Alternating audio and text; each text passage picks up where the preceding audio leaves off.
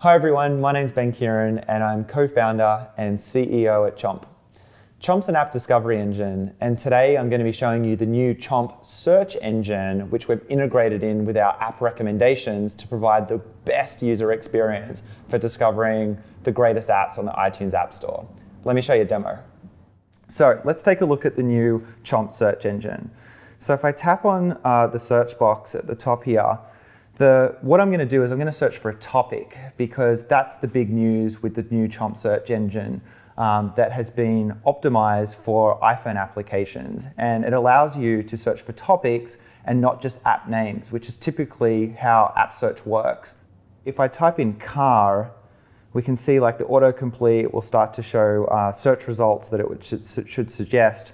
But what's really cool is when I do a search for car, it brings up my search result I can see down the bottom here like other uh, related searches to what I just typed in. So I've got card games or parking or car racing games. If I do a search for car racing games here, I can see a set of results for car racing games.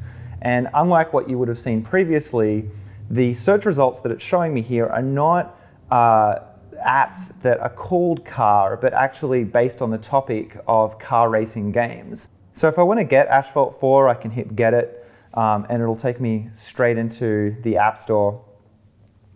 I can then uh, download uh, the application. I can then buy it here for five bucks. So if I hit the, the buy it now, I'm just going to buy it like I would normally an app.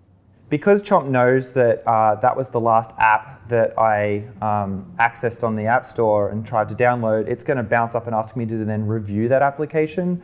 So I can give it a broken heart if I didn't like it, and I can give it a love heart if I uh, if I do like the application. I can also write a 60 character comment and I can also share this review on Facebook and Twitter, which is a really cool way of sharing uh, applications that you found um, on Chomp with everybody um, that you're connected to um, on the web really quickly.